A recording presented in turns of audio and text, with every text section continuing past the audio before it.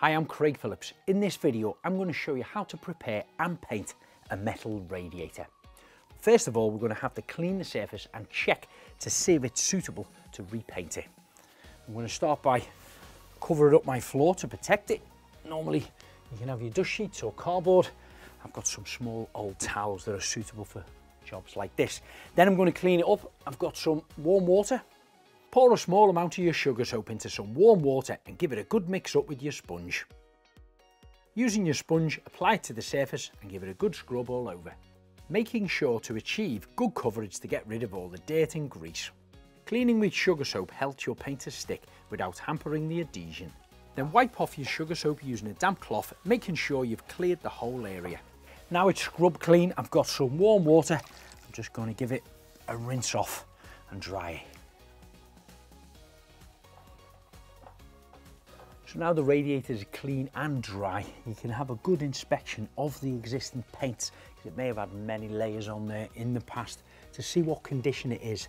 If there are any bits that are flaking off there or loose, they must be removed, scraped off and then heavily sanded down until you get a smooth finish. But this is looking quite in good nick all over. I'm just going to give it a gentle little sand now with a light to medium sandpaper. Now it's also at this point, if you do see any old drips that have dried out, could have been there a long time, you do need to sand them out because if you apply your new paint on top of it, all that's going to do is enhance that drip. A quick wipe back down again. Make sure you get off all the dust.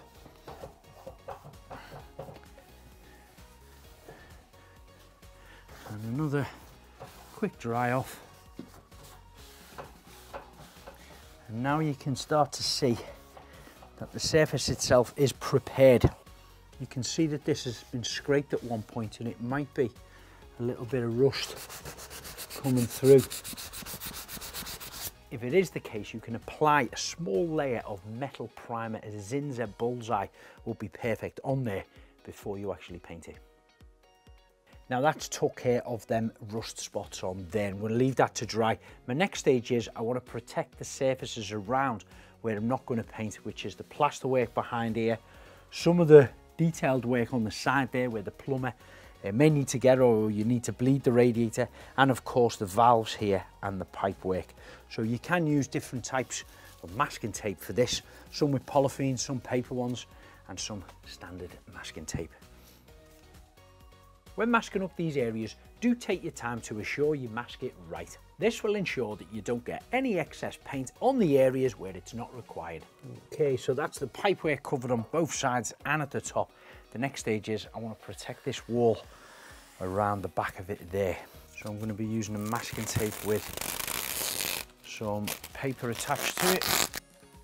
Once your cover tape has been rolled out and applied to the wall, you can then tape the corners down to stop it moving or touching the radiator. And some radiators are different sizes and shapes and the tops of them and the depth of them will also differ. So whether you're going to paint this with a paintbrush or a roller or not, and you're trying to get these bits at the top here, where you can't generally see unless you're looking directly above them, just a way to avoid any splashes going onto the back uh, paintwork behind it there is covered up and I'll do it same again both sides and below. So now we're masked, we're ready to start painting. The paint I'm using is Frenchic's trim paint and the colour is Cool Beans, which is one of the colours out of the Samaritans range. I'm starting my paint in the top corner, painting the recesses on the radiator first. Frenchic's trim paint is quick and easy to apply and makes it simple to cover areas like this. It's a soft satin sheen water-based chalk and mineral paint formulated for trims, skirting boards and doors. It's also suitable for other interior woodwork, powder-coated radiators and all sorts of furniture including laminate. It's low VOC content and low odour.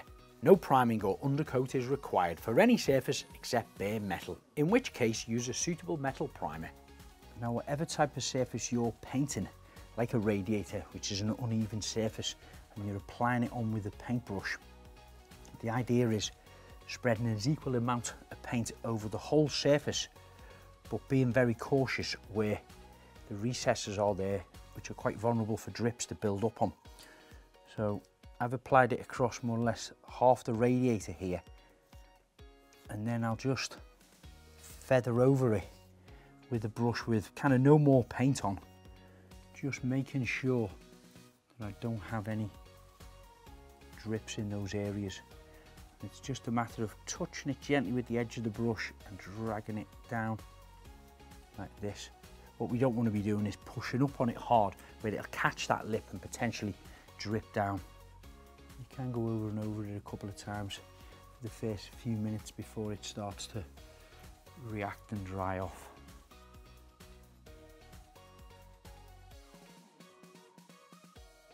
So that's the first layer now applied on the face of it.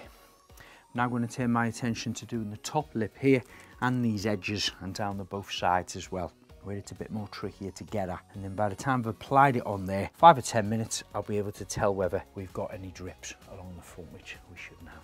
Now that's my first coat applied. I'm going to leave this to dry before I apply the second coat. Now do check the instructions on the side of your tin because drying times may vary in different conditions and the time of the year.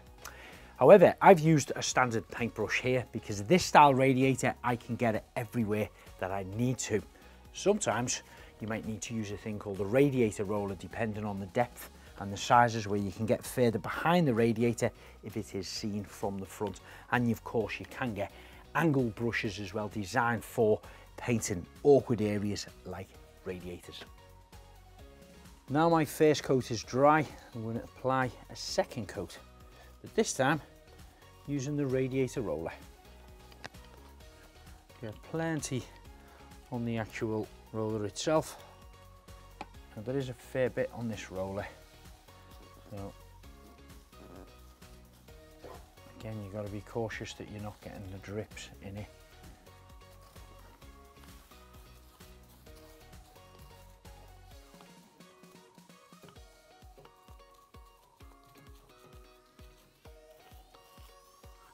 If you've chose to use a radiator roller to apply your paint on. Once you've covered the area, do feather it off using a paintbrush. This will help it to self-level and dry flat.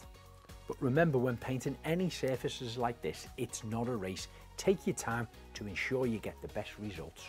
Now my second coat is dry, I'm to give it a tickle again with the sandpaper and pad. It's not to help the next coat actually key to it. It's just sometimes you have a bit of molecules floating around in the air that could settle on it and it just needs taking off and this is the perfect thing for it.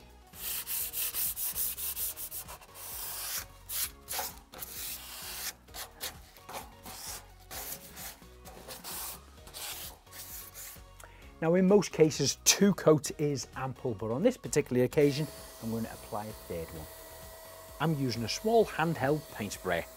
I'm going to start going up and down ensuring my third coat gives it another full and even coat. That's my radiator now complete. Three solid coats and it looks brand new. Bearing in mind this was about 15 years old this radiator and it had a variety of different layers of paint on there. Couple of things to remember.